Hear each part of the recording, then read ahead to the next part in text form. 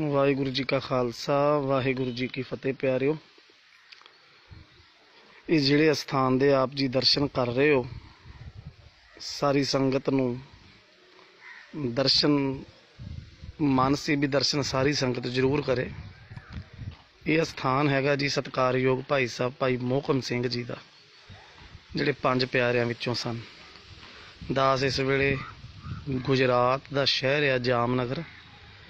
ਜਾਮਨਗਰ ਤੋਂ ਤਕਰੀਬਨ 200 ਕਿਲੋਮੀਟਰ ਦੂਰ ਹੈ ਜੀ ਦੁਆਰਕਾ। ਦੁਆਰਕਾ ਤੋਂ 7 ਕਿਲੋਮੀਟਰ ਸਮੁੰਦਰ ਵਿੱਚ ਦੀ ਆ ਕੇ ਛੋਟਾ ਜਿਹਾ ਇੱਕ ਟਾਪੂ ਆ ਨੂੰ ਕਹਿੰਦੇ ਦੁਆਰਕਾ ਬੇਟ। ਭਾਈ ਮੋਹਕਮ ਸਿੰਘ ਜੀ ਅਸਲ ਵਿੱਚ ਇਸ ਅਸਥਾਨ ਦੇ ਸਨ। ਇਹਦੇ ਅੰਦਰ ਗੁਰਦੁਆਰਾ ਸਾਹਿਬ ਦੇ ਪੁਰਾਣਾ ਸਥਾਨ ਉਹਨਾਂ ਦਾ ਘਰ ਉਸੇ ਤਰ੍ਹਾਂ ਸਾਂਭ ਕੇ ਰੱਖਿਆ ਹੋਇਆ। ਇਹ ਸਾਰੀ ਸੇਵਾ ਚੱਲ ਰਹੀ ਹੈ ਸਤਿਕਾਰਯੋਗ ਬਾਬਾ ਲੱਖਾ ਸਿੰਘ ਜੀ, ਕੋਟਾ ਰਾਜਸਥਾਨ ਵਾਲੇ। ਮੈਂ ਤਾਂ ਇਹ ਲਾਈਵ ਆਪ ਜੀ ਦੇ ਚਰਨਾਂ ਵਿੱਚ ਹੋਇਆ ਵੀ ਕੁਝ ਗੱਲਾਂ ਬੜੀਆਂ ਜ਼ਰੂਰੀ ਹੈ ਇਸ ਸਥਾਨ ਦੀਆਂ। ਸਭ ਤੋਂ ਪਹਿਲਾਂ ਮਹਾਰਾਜ ਗੁਰੂ ਨਾਨਕ ਸਾਹਿਬ ਇਸ ਪਾਵਨ ਸਥਾਨ ਤੇ ਆਏ। ਉਸ ਵੇਲੇ ਪਿਛਲੇ ਪਾਸੇ ਇੱਕ ਸਰੋਵਰ ਆ। ਸ਼ਾਇਦ ਉਹ ਆਪ ਜੀ ਨੂੰ ਥੋੜਾ ਜਿਹਾ ਮੰਦਿਰ ਦਾ ਰੂਪ ਦਿਸਦਾ ਹੋਵੇਗਾ। ਮੈਂ ਨੇੜੇ ਕਰ ਦਿਆਂ। ਇਹਦੇ ਨਾਲ ਇੱਕ ਸਰੋਵਰ ਆ, ਬਣਿਆ ਹੋਇਆ। ਉਹਨੂੰ ਕਹਿੰਦੇ ਆ ਜੀ ਸ਼ੰਖ ਸਰੋਵਰ। ਮਹਾਰਾਜ ਦੇ ਕੰਢੇ ਤੇ ਆ ਕੇ ਬੈਠੇ। ਤੇ ਇੱਥੋਂ ਦਾ ਪਰਿਵਾਰ ਸੀ ਭਾਈ ਮੋਹਕਮ ਸਿੰਘ ਜੀ ਦੇ ਜਿਹੜੇ ਬਜ਼ੁਰਗ ਆ। ਉਹਨਾਂ ਨੇ ਸਿੱਖੀ ਮਾਣੀ ਮਹਾਰਾਜ ਗੁਰੂ ਨਾਨਕ ਸਾਹਿਬ ਸਤਿਗੁਰੂ ਦੀ।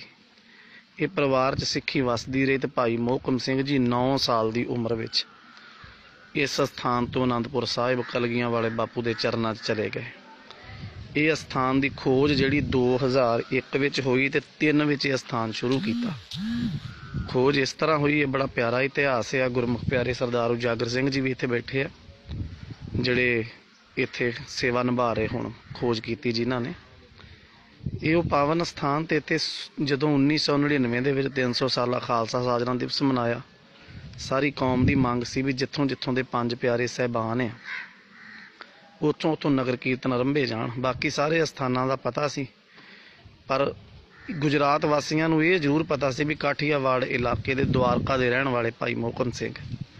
ਪਰ ਇਹ ਨਹੀਂ ਸੀ ਪਤਾ ਲੱਗਦਾ ਵੀ ਉਹ ਥਾਂ ਕਿੱਥੇ ਹੈ ਫਿਰ ਬਹੁਤ ਖੋਜ ਕਰਨ ਤੋਂ ਬਾਅਦ ਜਿਹੜਾ ਬੜੋਦੇ ਦਾ ਰਾਜਾ ਆ, ਉਹਦੇ ਅਧੀਨ ਇਹ ਇਲਾਕਾ ਆਉਂਦਾ ਸੀ ਤਕਰੀਬਨ 200 ਸਾਲ ਪਹਿਲਾਂ।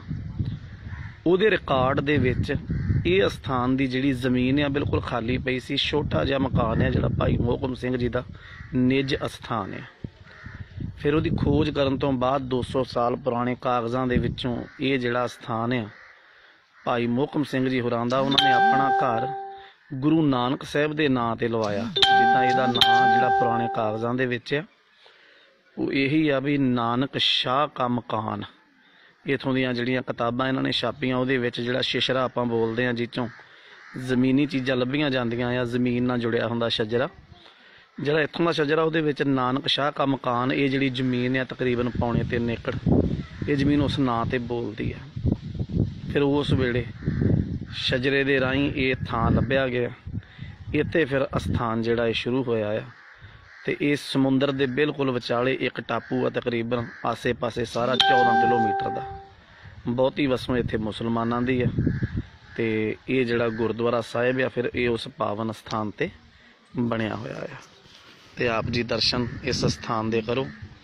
ਆਸੇ-ਪਾਸੇ ਸਾਰੇ ਪਾਸੇ ਇਹਦੇ ਸਮੁੰਦਰ ਹੀ ਸਮੁੰਦਰ ਆ 100 ਕਿਲੋਮੀਟਰ ਤੋਂ ਇਸ ਸਥਾਨ ਤੇ ਪਾਣੀ ਆਉਂਦਾ ਆ ਜਿਹੜਾ ਪੀਣ ਯੋਗ ਆ।